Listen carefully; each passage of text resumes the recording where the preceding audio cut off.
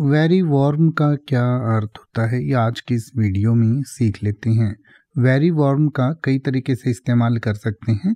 एक तो किसी चीज़ का टेम्परेचर बताने के लिए, यानी कि कोई चीज़ गर्म है या जिसका टेम्परेचर ज़्यादा है तो उसको हम वेरी वार्म कहते हैं।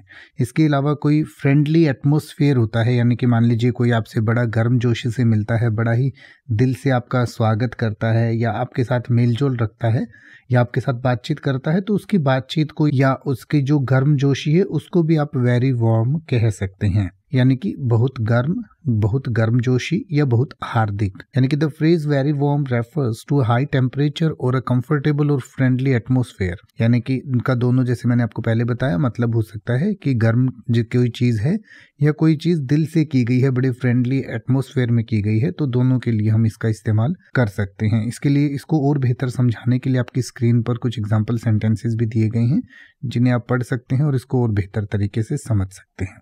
अब आप ऐसे ही किसी भी वर्ड का मतलब हिंदी और इंग्लिश में यूट्यूब पर सर्च कर सकते हैं। आपको मेरी वीडियो मिल जाएगी, जिसमें आप बिना किसी फालतू बकवास के सीधा उस वर्ड का मतलब समझ पाएँगे। तो ऐसी ही वीडियोस को देखते रहने के लिए चैनल को सब्सक्राइब करें और बेल आइकन को प्रेस करें।